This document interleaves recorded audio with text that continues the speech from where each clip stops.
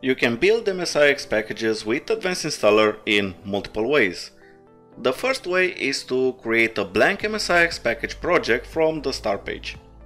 With this, you can configure your package from scratch like importing files, registry, visual assets, define capabilities, comms, and so on. The second way is to use the Advanced Repackager to convert your exe or other types of installers into an MSIX. We have a separate video on how you can use the Advanced Repackager which will be linked in the description. The third way is to easily convert an MSI build directly into an MSIX. As you can see, I have a simple MSI opened with Advanced Installer. This contains basic information like files, registry, comms and so on. If we go to the builds page, you can see our default build, which is intended for the MSI. In here we can add a new MSIX or APPX build.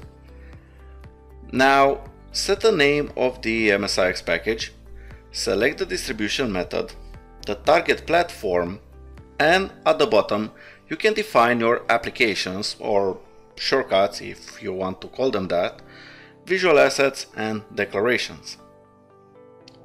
Once we do all the changes, navigate to the digital signature page and check enable signing. Next, use the preferred signing method, either from Certificate Store, Disk, Azure Key Vault or Device Guard, all we have to do next is to press build to create the MSIX. As you can see, the process is quite simple with Advanced Installer to convert your MSIs to MSIX. As a side note, MSIX does contain some limitations, so before starting to convert your packages, I strongly suggest to take a look at our user guide and blog to find out more about what it is that you should be aware of with this new technology.